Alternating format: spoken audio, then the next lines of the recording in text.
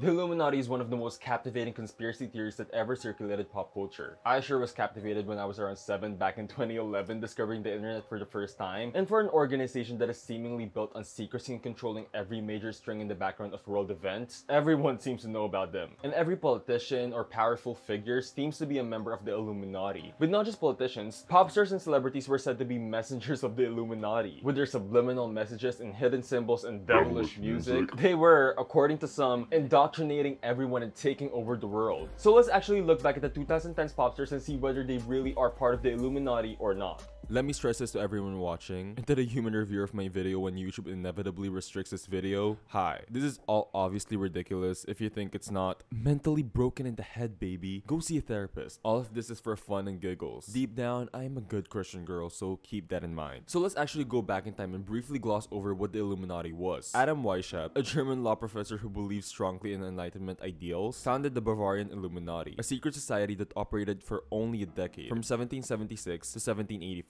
His Illuminati Norden sought to promote these ideals amongst elites. Weishaupt wanted to educate Illuminati members in reason, philanthropy, and other secular values so that they could influence political decisions when they came to power. For around 69 guys in the group at the start, they really were ambitious. They wanted to take over the world. You know what? Let's give them their tens. I give tens what tens are due. They had a big plan, they tried to do it, and they were girl bosses for that. But even at its largest, it only consisted of somewhere between 650 and 2,500 members. Their goals and reputation often exceeded their means, and they did a lot of unusual stuff. They used symbols like the owl, adopted pseudonyms to avoid identification, and had complicated hierarchies like novice, minerval, and illuminated minerval that divided the ranks. These are all now modern indicators associated with the Illuminati. There's also strong evidence for the Eye of Providence, the Eye in the Dollar, originating from the Freemasons which some associate with the Illuminati group. The Illuminati promoted the worldview that reflected Enlightenment ideals like rational thought and self-rule, and they were also anti-clerical and anti-royal. They were closer to revolutionaries than world rulers, since they sought to infiltrate and upset powerful institutions like the monarchy. They were kinda successful in acquiring some power as they had some influential members along with many dukes and other leaders who were powerful. They might have even influenced the Jacobins, the political club that spurred the French Revolution to its most radical heights. Even George Washington wrote a letter about them saying that they were a threat. They were on a high, but then they were destroyed in 1785 by the Duke of Bavaria, as he banned secret societies, including the Illuminati, and instituted serious punishments for anyone who joined them. Most of the group's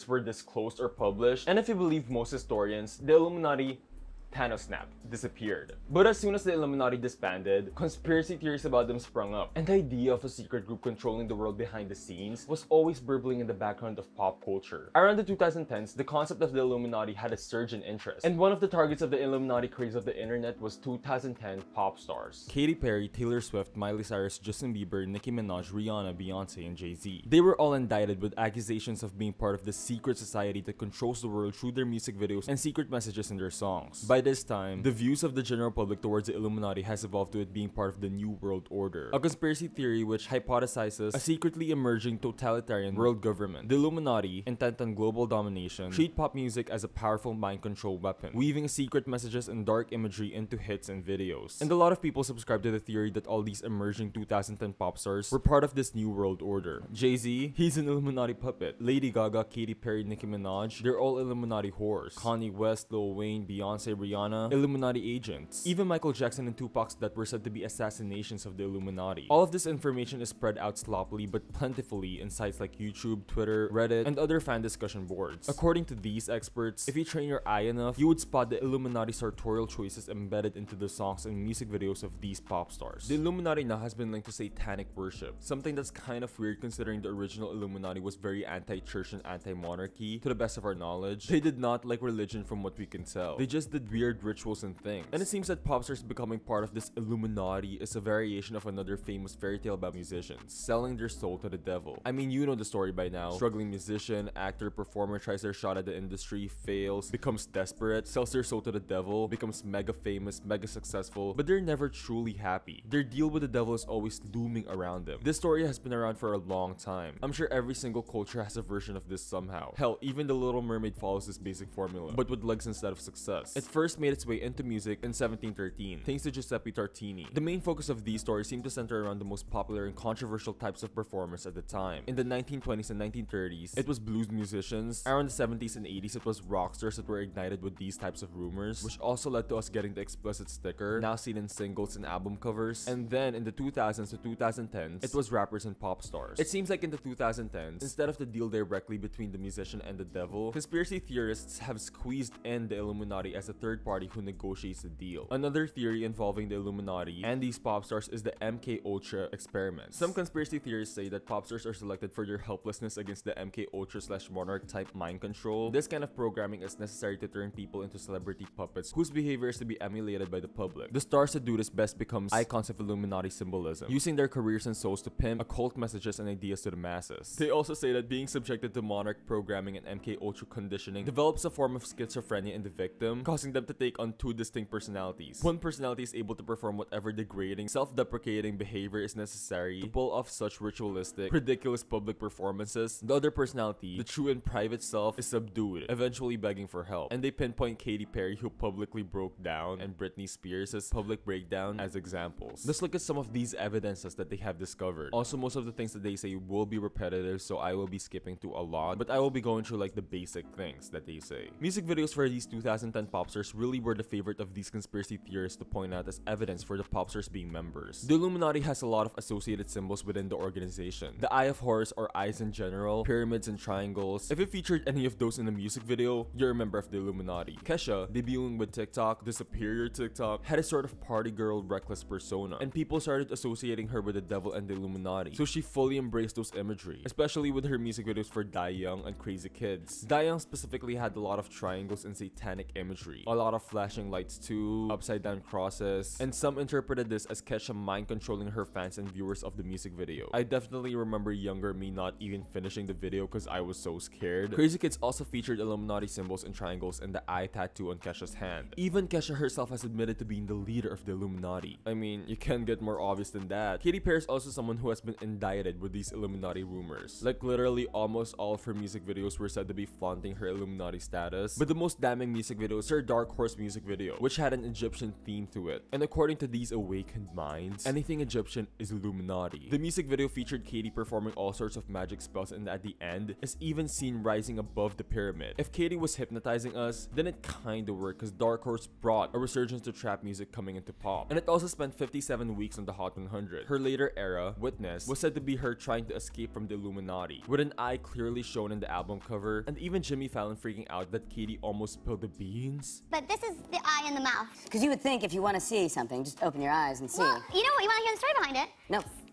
We, we have. of course, I definitely want. Are you kidding me? I want to hear everything you have to say. I love you. Let's talk about it. Um, Sorry. no, I think, you know, uh, sometimes when you see an extra, sometimes when you see an extra eye, you would see it like on, you know, your third eye. And for me, like, through this journey, it's been a wonderful, incredible journey, and I've been able to share with you for over 10 years music. And I'm Absolutely. so, for me, the wonderful thing is like the music has allowed me to travel, which has re-educated my mind and changed my perspective on so much. And so, like, my education and my consciousness comes from my voice, and that's how I see, and that's how I witness you, and that's how you witness me, and that's why the eye is in the mouth. Ha ha! Yes! The album also took on a more political statement, with Chained to the Rhythm being about the world being oblivious in their lives by distracting themselves with parties and catchy pop songs. We're living in a bubble, as Katy said. Is Katy trying to say something? She was even seen malfunctioning just recently. Justin Bieber and Drake have also been accused of being part of the Illuminati, as owls are heavily associated with them, which are said to be a symbol for the Illuminati. Justin having an owl tattoo and Drake having an owl as the logo for OVO, Drake's record label, why did they choose an owl for that? Hmm, seems kinda sus to me. Lady Gaga is an absolute favorite of the Illuminati. Like if there was a girl who the world is convinced of as part of this secret society, it's Lady Gaga. And the thing is, Lady Gaga absolutely plays to this. Her debut album is literally called The Fame. About the fame, success, money, all materialistic stuff that people are convinced is being pushed by the Illuminati. Add to that Gaga's eccentric fashion style and art concept music videos, and that's a recipe for an Illuminati agent. Her fanbase are literally called the monsters. And you know those monsters? They're indestructible, strong machines bent on destroying the world.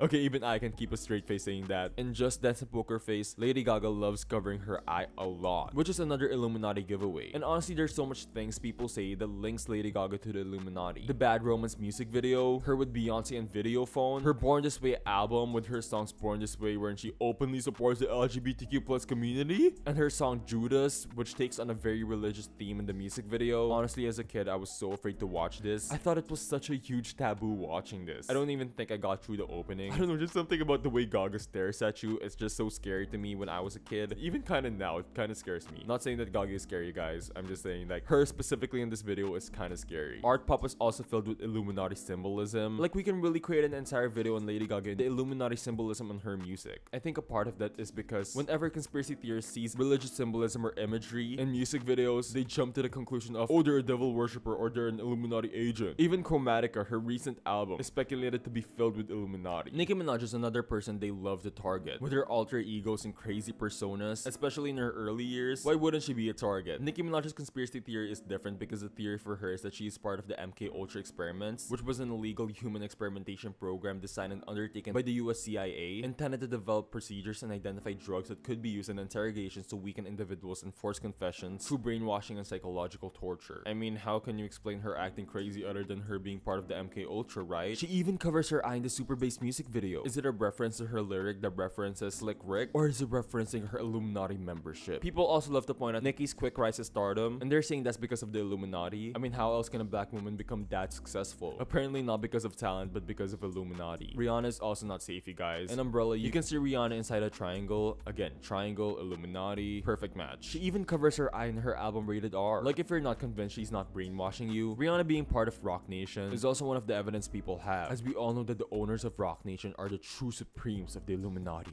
Beyonce and Jay-Z, the definition of a power couple. And one of their powers might be being part of the Illuminati, as some people say. And they are secretly ushering a revolution, a new world order, brainwashing the public through music videos and dance routines. Both Beyonce and Jay-Z are the absolute favorite target for these conspiracy theories. I think one of the biggest evidences people have about this conspiracy theories is the symbol both Jay-Z and Beyonce do. For several years, Jay-Z has, during his performances, made a hand signal that forms a triangle. This is supposedly meant to represent a diamond, and has become synonymous with Jay-Z and his record label. Occasionally, Beyonce will also flash the hand signal, likely in support of her husband, but the triangle shape is, for some, associated with the Eye of Providence, which is as established a symbol for the Illuminati. Conspiracy theorists believe that Jay-Z's iconic hand signal is him secretly signaling his devotion to the Illuminati. The Illuminati also love themselves a hidden message when a song is reversed. If you listen to Beyonce's single Ladies backwards, people say there's a little hidden message in there but I always about the world.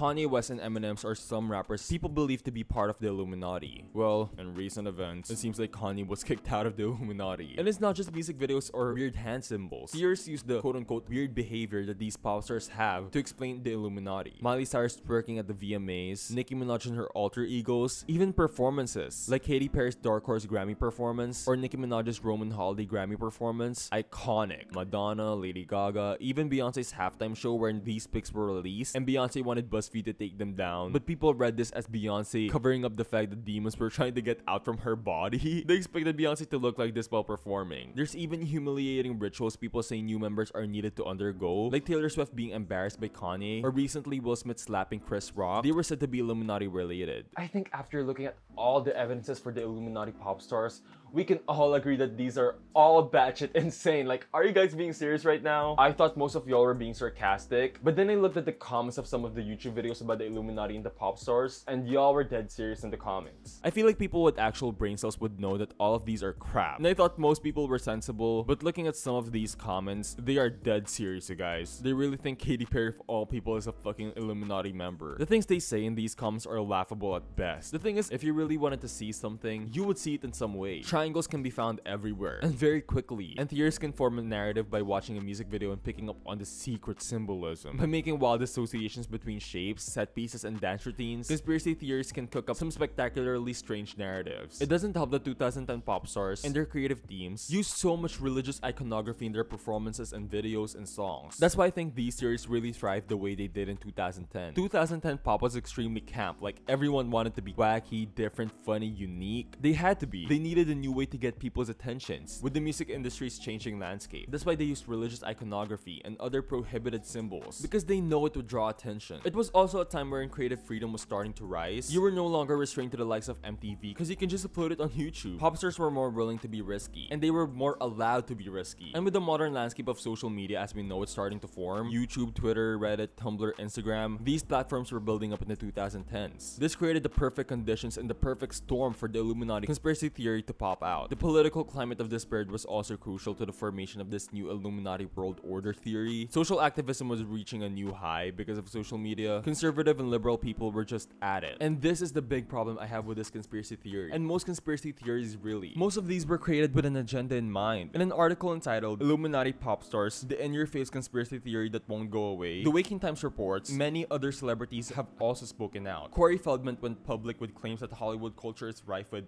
this the Illuminati mind controlling celebrity conspiracy is ubiquitous and the symbolism of the occult and of the Illuminati is everywhere. My problem with this is we know that Hollywood is a shady place and we know that all of these things are rampant in Hollywood. But to place blame on this serious issue on a hypothetical group that we have no proof of existing today, a group so secretive everyone knows about them, is just sick. They then say the pervasive Illuminati symbols in our culture subvert our natural independent and humanistic values with a pernicious onslaught of stupidity, absurdity, sexualized garbage, and escape through intoxication. In no other cultural arena is the social engineering and moral manipulation more prevalent than in the world of pop entertainment. Which, in their defense, celebrity and pop culture does have its problems. It does promote materialism, body issues, insecurities, all that stuff, but it's not because of a secret organization mind controlling us. If mind controlling us were the main goal of these pop stars, well, they're failing because we keep on talking about them. They always seem to malfunction somehow. This is just the way the world works. It's just the way society is is, and blaming it on the Illuminati will not help us solve these problems. And I think now we can talk about the obvious misogynistic, homophobic, and racist undertones these theories have. Notice how these theories always seem to target women or black people? That's no coincidence. Do these conspiracy theories target Lady Gaga because she's an Illuminati agent? Or is it because she's an unapologetic woman who openly embraces the LGBTQ plus community and is not afraid to use symbols of the church for her art? Is the hand symbol Jay-Z does really an Illuminati sign? Or is it just part of his culture and that the creator of these theories, most probably probably white people don't understand. Even the new pop stars that people are accusing of being Illuminati members. Lil Nas X and Billie Eilish. See the fucking pattern? It's always the people they don't understand. Or the people they don't want to understand. That's why they put these labels of Illuminati agent, mind control whore, devil worshipper, all these derogatory things to degrade them of their successes. I think Kanye West said it best. Only about this particular situation, okay? Not anything else. I heard a comment, a joke, about the title press conference being an Illuminati moment. If there was actually an Illuminati, it would be more like the energy companies, not celebrities that gave their life to music and who are pinpointed as decoys for people who really run the world. I'm tired of people pinpointing musicians as the Illuminati. And that's the thing. If the Illuminati was true, celebrities or musicians wouldn't be a part of it. If there was a secret society running the background, it would probably be ran by the richest people. Billionaires we never even heard of. Because even the richest celebrities, the billionaire celebrities like Rihanna, Oprah, they sit at the very bottom of the billionaires club. They're still extremely rich, don't get me wrong, but compare their money and power to other other billionaires, they just don't compare. Most billionaires hide their assets, so to us, they're really not billionaires. Those are the people who probably runs the Illuminati, not fucking celebrities or musicians. Be fucking for real. I think now the Illuminati is an inside joke for people in the know. A lot of pop stars have referenced the Illuminati in their music videos and songs. Rihanna in the S&M music video shows off a headline that says Princess of Illuminati. Nicki Minaj voiced and did a bit in the Cleveland show, wherein she was part of the Illuminati. And Beyonce's iconic. Y'all haters corny with that Illuminati mess. Most pop stars are aware of this theory and are being cheeky about it. When we say blank pop star renewed their Illuminati contract, it just means they're about to eat, they're about to serve. The people who get it, get it, and the people who don't, don't. So now I'm going to be introducing my special guest, Miss Naomi Cannibal. Yes, Miss Naomi Cannibal is gonna be just doing her thing in this video, and yeah. Let's go to her part now. Hey, Naomi Cannibal here, stepping in to share my thoughts. Like Nathie, I remember growing up hearing all the Illuminati conspiracies of the 2010s. I remember people saying Run This Town was Rihanna's demonic initiation to the Illuminati. Or, like, if you listen closely at the beginning of 679, you could hear Fetty Wap claim that he worshiped the devil. It seems like with every song back then, someone was saying if you reversed it or inverted the lyrics or played it when the clock struck 12 midnight exactly on a full moon, you could decode some secret Illuminati or occult message. Now it's not as much of an epidemic as it was years ago, but I do still see it even with some of the pop stars coming up today. Anytime someone gets huge, they're either an industry plant or in the Illuminati. It's always one or the other. Because of so called Easter eggs in her music videos, people have speculated that Billie Eilish is one of the Illuminati's newer initiates.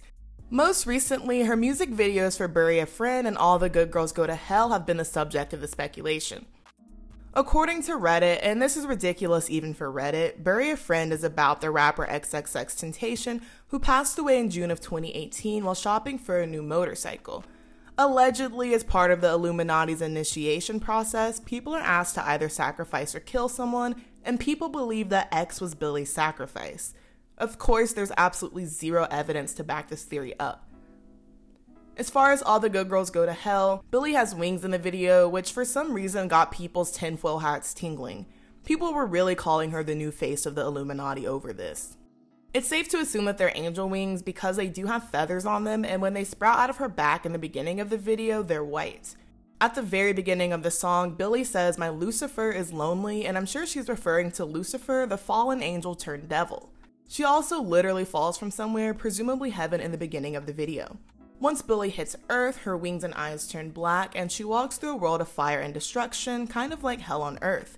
People are saying the 12 syringes going into Billie's back at the beginning are representative of the 12 demon princes, which is actually untrue because there's only seven, of which Lucifer is one.